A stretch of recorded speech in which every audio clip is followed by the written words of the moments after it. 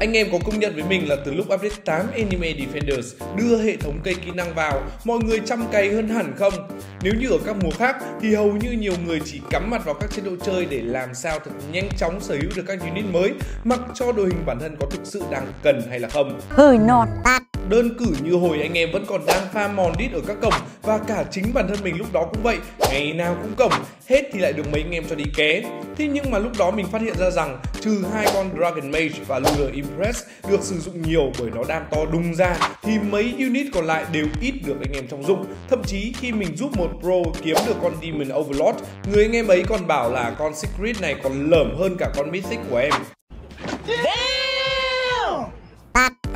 Vậy ra là nhiều bình luận đã nhận xét rất đúng. Đây chính là một số anh em chỉ chơi để kiếm unit cho đủ bộ, chứ đôi khi chưa thực sự hiểu hay biết cách sắp xếp nó vào đâu cho hiệu quả. Thế nên mặc cho việc cày cuốc cũng rất là nhiều, thế nhưng mà đội hình vẫn luôn trong tình trạng chỗ thiếu, chỗ thừa.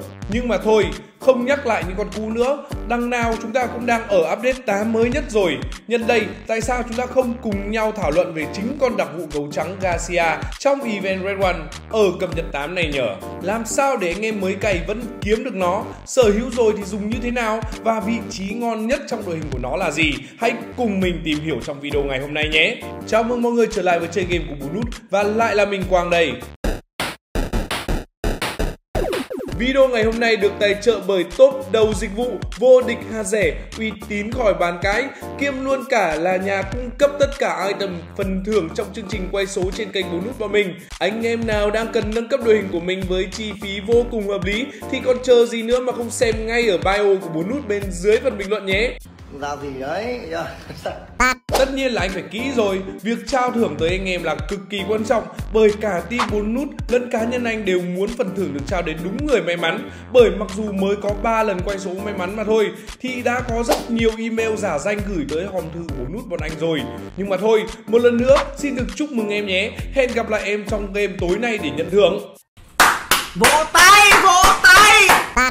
mà nhân tiện đây, phát hiện ra một số anh em mới xem kênh chưa biết cách tham gia chương trình, thế thì để mình hướng dẫn lại một lần nữa nhé. Cách tham gia chương trình thì cực kỳ đơn giản, anh em chỉ cần ấn like và đăng ký kênh, sau đó ở trên bất kể video nào, bao gồm cả chính video ngày quay thưởng và hai video trước đó, anh em chỉ cần trong bình luận ý kiến của bản thân về nội dung của video mà mọi người đang xem, ghi kèm thêm tên nhân vật Roblox của bản thân, thế là xong rồi.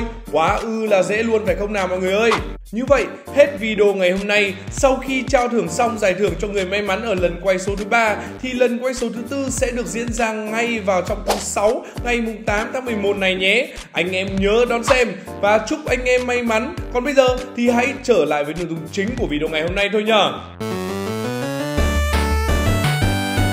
Chả hiểu có anh em nào giống mình không. Mặc dù tỷ lệ của con Garcia hay kể cả con Dracula không hề thấp, Nếu đem so sánh với cả mấy con Secret quay mới ra thì vẫn cứ là cao hơn nhiều. Mình đi cổng Golden ra cả đống Bionic Machine lẫn Golden Boy. Thế nhưng mà cày quá chơi cày, mà lần nào cũng phải chui vào Red Shop thì mới có thể sở hữu được hai con đấy. Đã vậy, muốn Evo cho con gấu trắng thì lại còn phải tốn đến 5 cái Christmas Cookies Làm mình ế hết cả đít mới có thể farm xong xuôi được Garcia Thế này mà nó còn lởm nữa thì đúng su quá trời là su phải không nào anh em?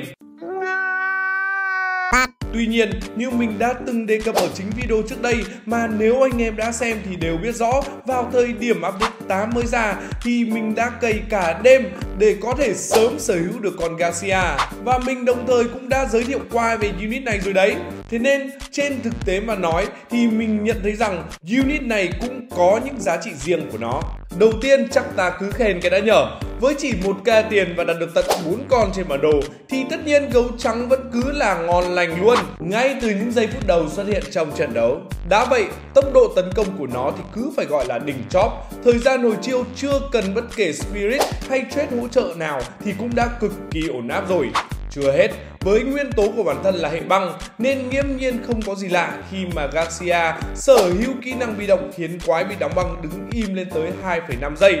Quá là ngon luôn. Điều mà từ trước tới giờ chúng ta mới chỉ thấy ở siêu support Ice Dragon Queen với sức mạnh cũng tương tự. Ok, khen thì là như vậy, thế còn chê thì sao? Con Garcia này duy nhất chỉ có 4 kỹ năng và ba trong số đó thì mình không quá thích bởi nó chỉ có thể gây sát thương trong phạm vi đường tròn mà thôi. Như ở video trước mình có đề cập và đánh giá nhanh thì duy nhất chỉ có kỹ năng thứ hai của Garcia là full phạm vi công kích. Lý do tại sao mình vẫn thích AOE toàn phần hơn bởi hãy nhìn sang chính dòng băng khi max level nó sẽ khiến toàn bộ quái ở khu vực trong khoảng cách có thể tấn công của mình phải chịu hiệu ứng nóng băng. Điều này khiến vị trí đặt của unit này vừa dễ dàng lại hiệu quả hơn rất nhiều. Dù vậy thì nói đi cũng phải nói lại, nếu Garcia có được bộ kỹ năng như vậy thì nó lại ngon quá phải không nào anh em ơi?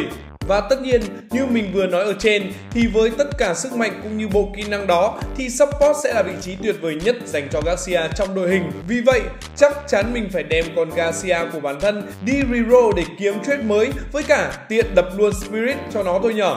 Bản chất thì đã là đánh nhanh rồi, nhưng khoảng cách tấn công thì có vẻ hơi nhỏ. Đã vậy, đam không phải là mục tiêu chính, thế thì Almighty có lẽ không phù hợp, nhất là khi nó đạt được tận 4 con cơ mà. Apex hay cả Emperor lại càng không vì Garcia không phải là unit gây đam chính trong đội hình, thế thì loại luôn.